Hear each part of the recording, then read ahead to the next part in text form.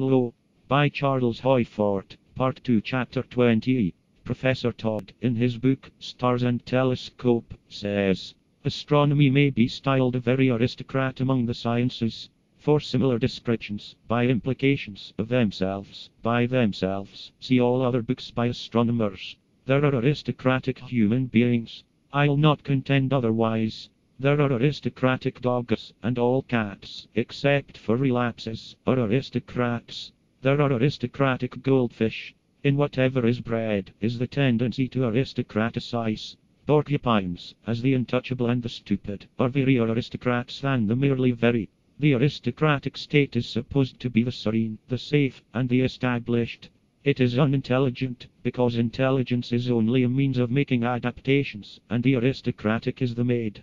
If this state of the relatively established and stupid were the really, or finally, established and stupid, we'd see good reason for the strivings and admiration and imitations of strugglers, climbers, or newcomers to stabilize themselves into stupors. But, in phenomenal being, the aristocratic, or the academic, is, though thought of as the arrived, only a poise between the arriving and the departing. When far advanced it is the dying, wherein it is a goal. Our existence is, though only locally, suicidal. The literature of the academic ends with the obituary. Professor Todd's self-congratulation is my accusation.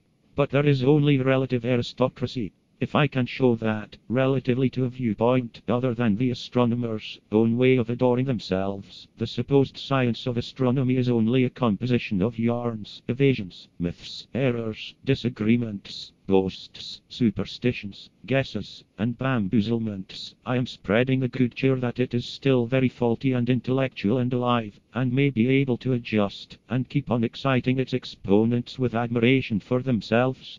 We shall see what mathematical astronomy is said to start with.